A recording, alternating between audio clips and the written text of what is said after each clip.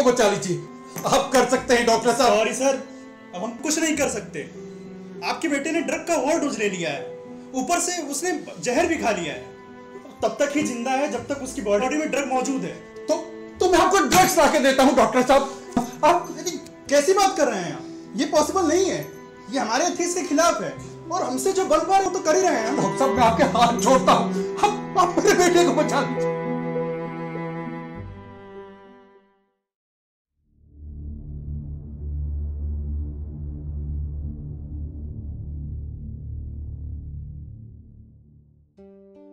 United Nations की world drug report के मुताबिक, सन 2017 में तिरपन मिलियन नए लोग नशीले पदार्थों के सेवन के आदि हुए, जबकि 35 मिलियन लोग पहले से ही ड्रग्स लेने के दुष्प्रभावों से जूझ रहे हैं।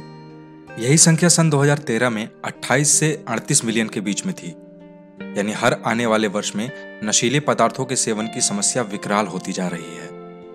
सन 2017 में आए आंकड़े 2016 में अनुमानित संख्या से 50 प्रतिशत अधिक थे। आपको यह जानकर आश्चर्य होगा कि ऐसा इसलिए हुआ कि 2017 में पहली बार दुनिया के दो अत्यधिक घनी आबादी वाले मुल्क, भारत और नाइजीरिया में बेहतर तरीके से किए गए सर्वे को शामिल किया गया था। 2017 में पाँच लाख पचासी हज़ार लोग नशीले पदार्थों के सेवन से मरे। इसे यदि दूसरे तरीके से देखा जाए तो समझिए कि स्वस्थ ज़िंदगी के 42 मिलियन वर्ष नष्ट हुए। इंजेक्शन द्वारा नशा लेने वाले 11 मिलियन लोगों में से आधे से अधिक हेपेटाइटिस सी के शिकार हैं और इनमें से एक बटा आठ एच के शिकार हैं। भारत में हज़ारों लोग हर साल नशे के कारण होने वाली बीमारियों से मरते हैं और हज़ारों नए लोग इसके आदि होते जाते हैं। अवैध ड्रग्स का कारोबार भी दिन प्रतिदिन बढ़ रहा है। मणिपुर, मिजोरम, पंजाब, उत्तर प्रदेश और गुजरात आदि राज्यों में बड़ी मात्रा में ड्रग्स जब्त हो रही है।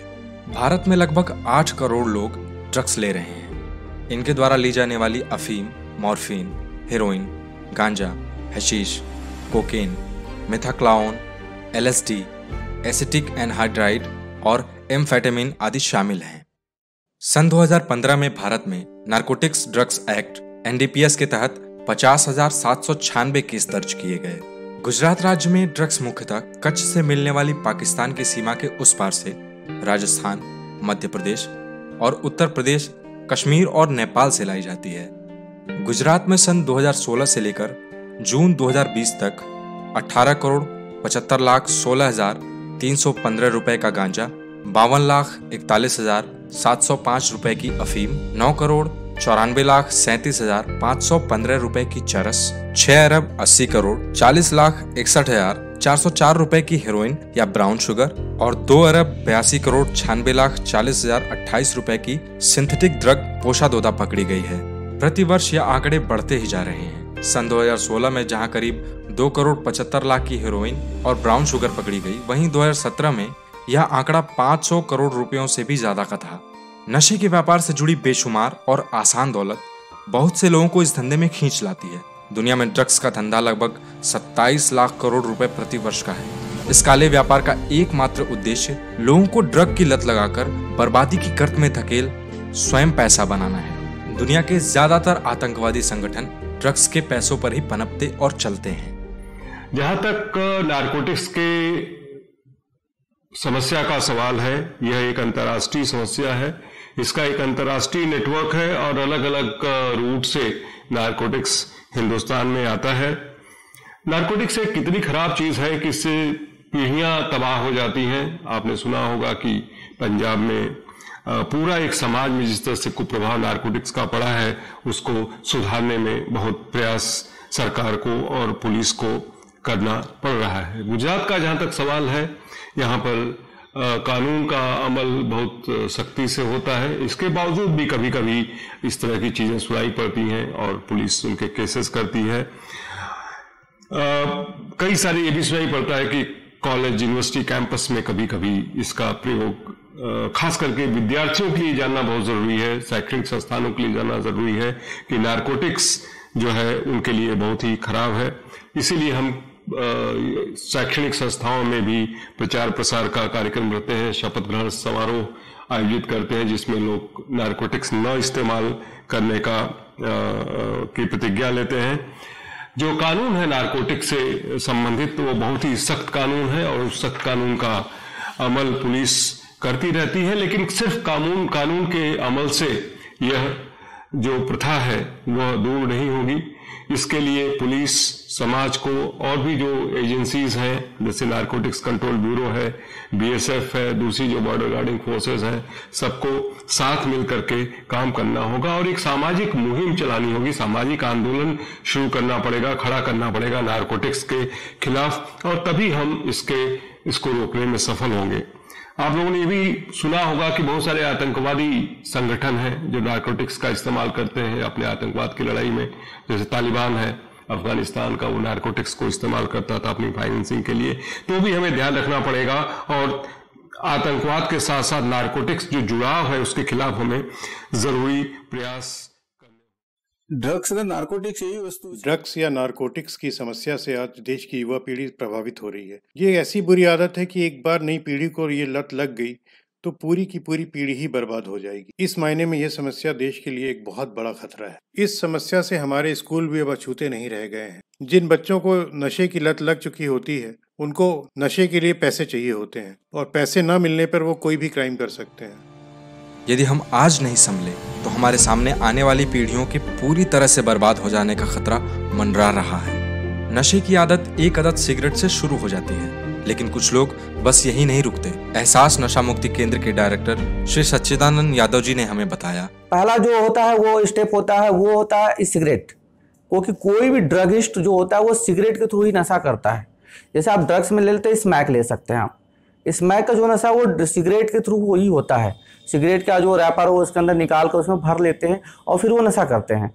मगर कोई भी व्यक्ति तभी एडिक्ट होता है डायरेक्ट ड्रगिस्ट नहीं होता है। वो पहले जाके, पहले शराब का सेवन करता है, पहले अल्कोहल का सेवन करता है, फिर जाके वो ड्रग्स पर क्योंकि उसको सब्सिट्यूट चाहिए होता है। मैंने इसे अपने ये पाँच साल के कैरियर में मैंने ये देखा है कि बहुत से जो एडिक्ट होते हैं, वो पहले जब उनको छुड़ाने की कोशिश किया जाता है या फैमिली पर जब प्रेशर डाला, या फैमिली प्रेशर डालती है तो नशा छोड़ने का प्रयास करते हैं। तो उनको लगता है कि मेरी फैमिली जो अल्कोहल में पीता हूँ तो उसे मेरी फैमिली को पता चल जा रहा है तो वो सूखा नशे की तरफ़ बढ़ जाते हैं, वो ड्रग्स की तरफ़ बढ़ते हैं। और ड्रग्स का जब नशा करते हैं तो वो पता नहीं चल पाता लोगों को ये नशा भी किया हुआ है, वो नशे में रहते हैं। वो लक्षण देख ही पता कर पाते हैं कर पाएँगे कि हम नशा कर रहा है कि नहीं नशा कर रहा है। आम आदमी की तरह हमें यही लगेगा कि सिगरेट की तरह हर नशा आसानी से उपलब्ध नहीं है। चरस, गांजा हेरोइन आदि, जितना स्ट्रॉन्ग नशा, उतना ही महँगा और उतनी ही मुश्किल उपलब्धता। लेकिन दुखद यह है कि मिलता सब है। और हर जगह। नशा का इतना इतना प्रकार आपके आसपास भी बिकेगा अगर आप उस लाइन में नहीं है तो आपको पता नहीं रहेगा। लेकिन अगर नशेड़ी है तो उसको सारा चीज़ सिस्टम पता रहेगा कहाँ कैसे मिल रहा है। बंदी के दिन भी आराम से लोगों को मिल जाता है जो उस चीज़ में घुस जाते हैं उनको और नॉर्मल लोगों को पता भी नहीं चलता है कि आपके आस पास में ऐसे चीज़ मिलते हैं। कहते हैं मार्केट डिमांड और सप्लाई के सिद्धांत पर चलता है। तो आखिर कहाँ और क्यों है यह डिमांड झुग्गी झोपड़ी में रहने वाले गरीब बच्चे ज़िंदा रहने के लिए नित्य संघर्षों से जूझते जीवन की कठोर और कड़वी सच्चाइयाँ, बच्चों के लिए उपयुक्त माहौल का अभाव, शिक्षा, खेलकूद और अन्य सामान्य बाल सुलभ मनोरंजन की अनुपलब्धता, अपराधी तत्वों से सबका पड़ते रहने की अत्यधिक संभावना और कुसंगति, वो तमाम ऐसे कारक हैं जो इन्हें अपने आसपास आसानी से उपलब्ध नशों की ओर जाने के लिए प्रेरित करते रहते हैं। जीवन के कष्टों को भुलाकर झूठे क्षणिक आनंद के आगोश में जाने की इनकी आवश्यकता ही इनके इर्द गिर्द उपलब्ध वस्तुओं में से ही नशे का आविष्कार करा देती है। वाहनों से पेट्रोल सूंघने से शुरू हुई यात्रा, सुलेशन या व्हाइटनर सूंघने, कफ सिरप पीने जैसे शुरुआती नशे की ओर ले जाती है। बड़े शहरों के स्लम्स ड्रग सप्लाई के बड़े केंद्र हैं और यहाँ बच्चे कुरियर का काम करते हैं, इसलिए इन्हें पहले नशे की आदत लगाई जाती है।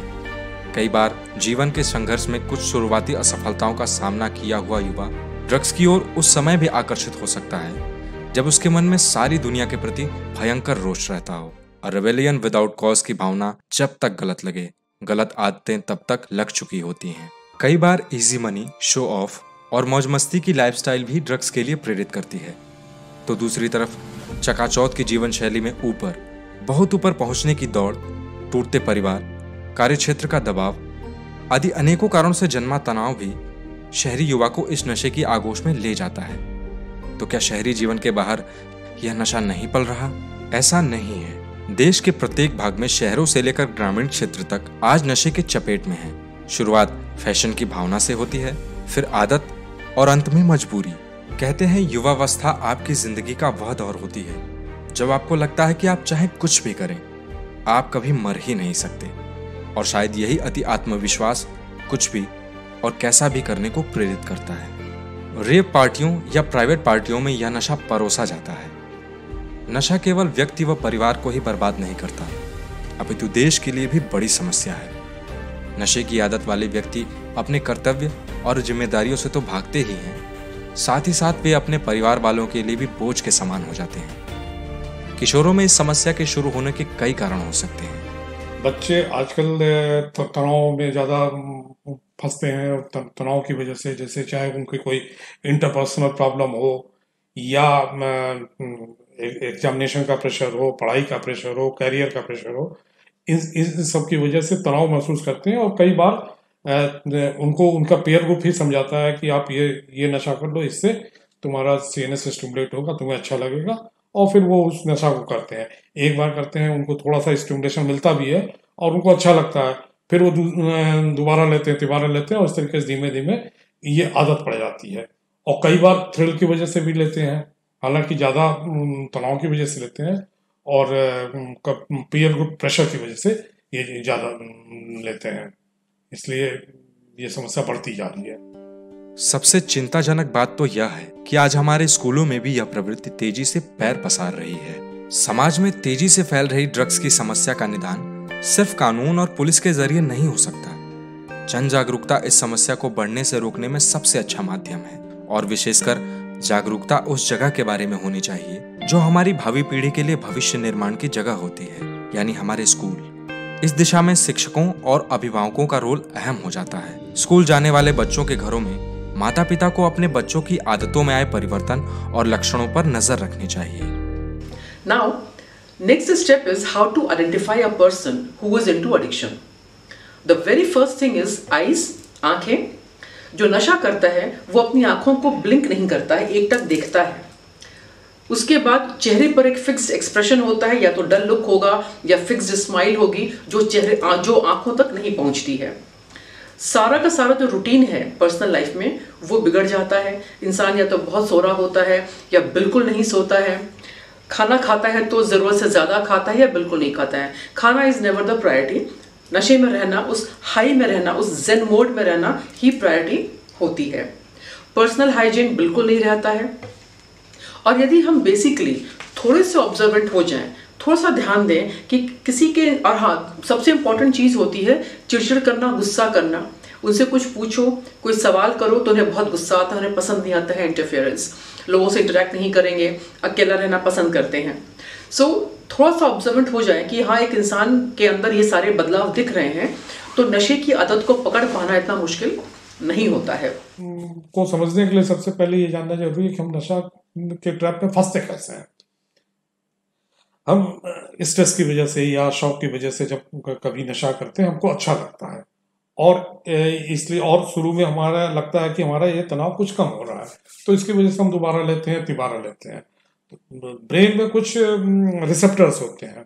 जैसे म्यू रिसेप्टर्स है कप्पा रिसेप्टर्स है डेटा रिसेप्टर इस तरीके से कुछ रिसेप्टर्स होते हैं जिसपे ये नशे वाली चीज़ें एक्ट करती हैं और जिसके कारण से एनर्जेसिक इफ़ेक्ट होता है यूफोरिक इफ़ेक्ट होता है और अच्छा लगता है।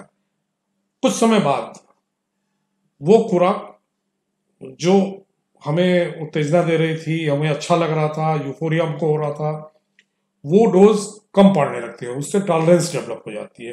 तो लिहाजा उसकी डोज बच्चा बढ़ाता है, जो भी नशा कर रहा है, उसकी खुराक को उसको ज़्यादा लेना पड़ता है।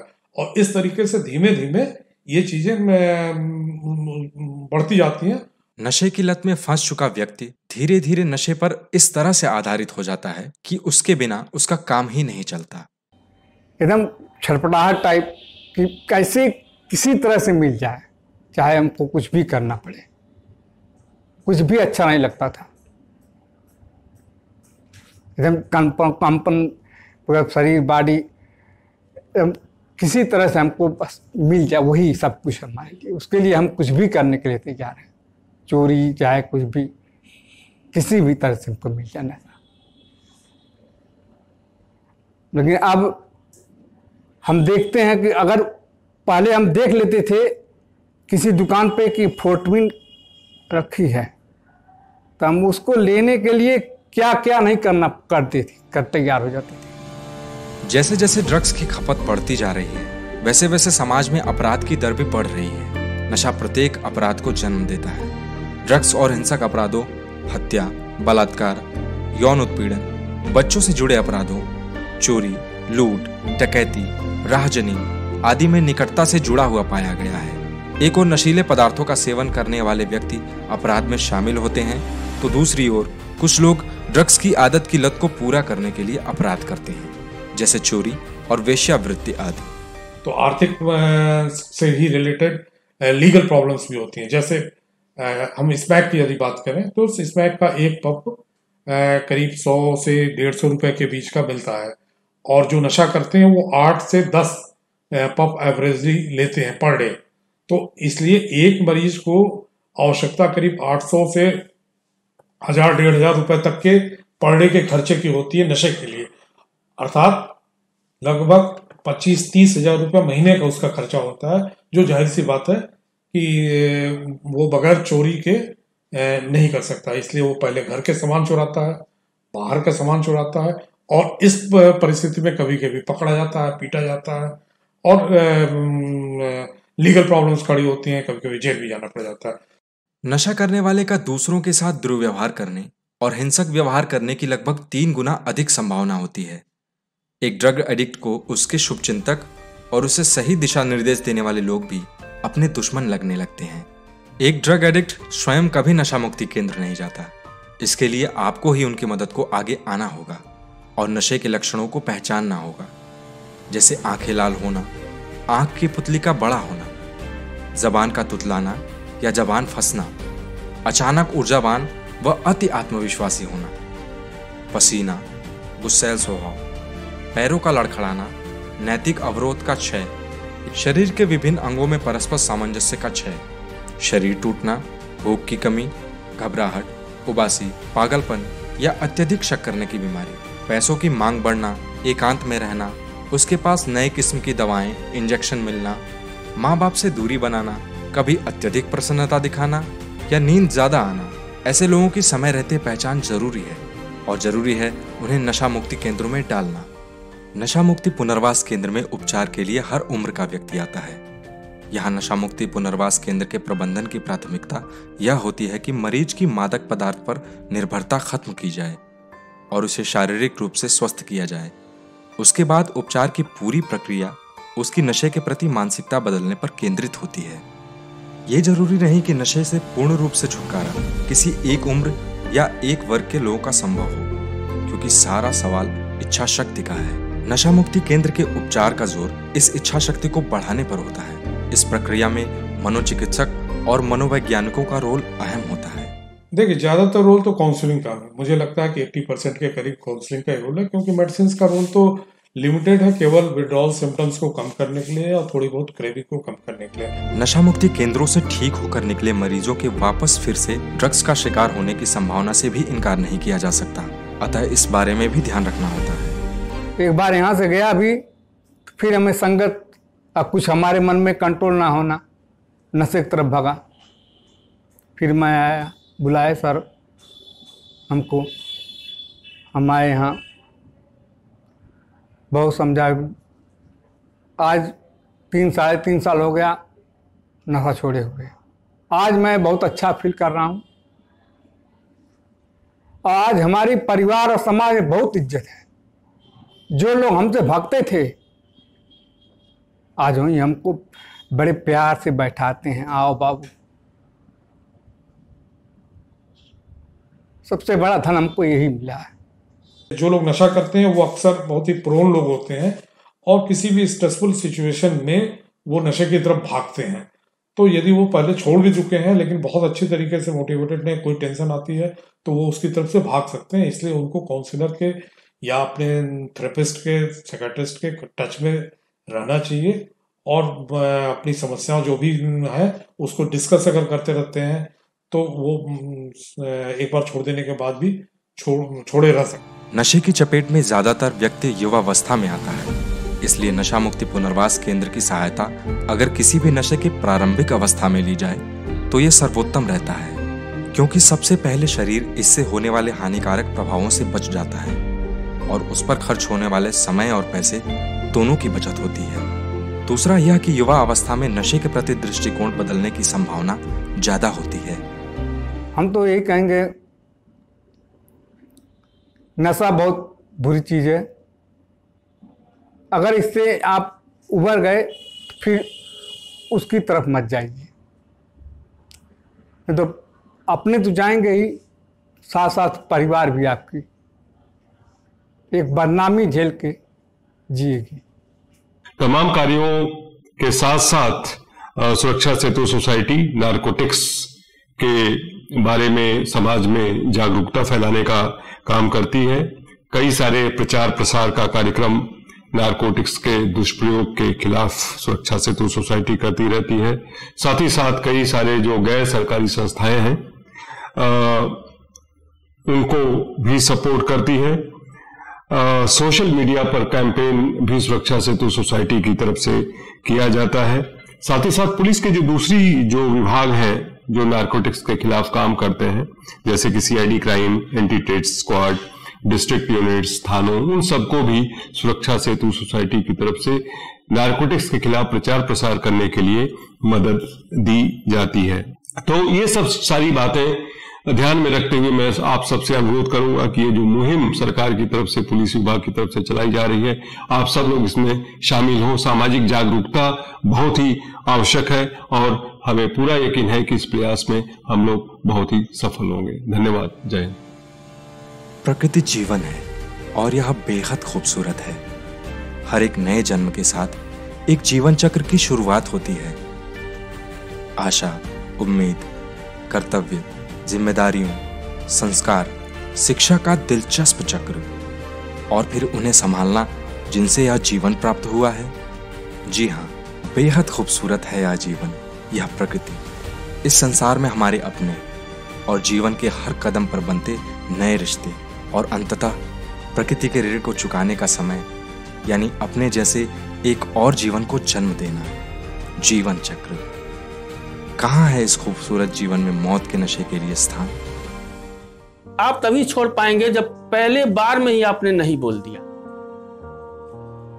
अगर आपने अपने मन में किसी भी प्रकार की दुविधा रखी, नहीं बोलने में थोड़ा सा भी विलंब किया, संकोच किया तो आप नशा कभी नहीं छोड़ पाएँगे नशा छोड़ना है तो आप मज़बूत इरादा होना चाहिए, बिल्कुल ही दृढ़ संकल्प कि नहीं तो नहीं। No means no